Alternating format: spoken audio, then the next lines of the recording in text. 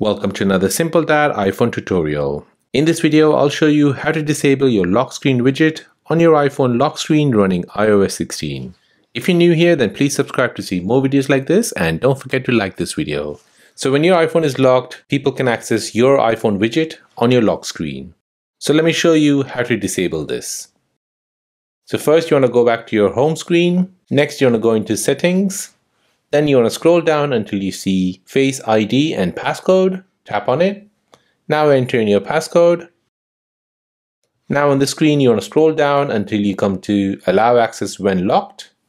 And within that, you're looking for Lock Screen Widgets. So go ahead and toggle that switch to the left hand side to disable Lock Screen Widget. Now once you do that, you can go back to your home screen, lock your phone, and now if someone comes along and tries to unlock it, he or she won't be able to access your lock screen widgets. So that is how to disable lock screen widget on your iPhone running iOS 16. If this video is helpful, then please subscribe to see more videos like this. If you have any other questions, then please do let me know in the comment section down below. Thanks for watching and see you in the next one.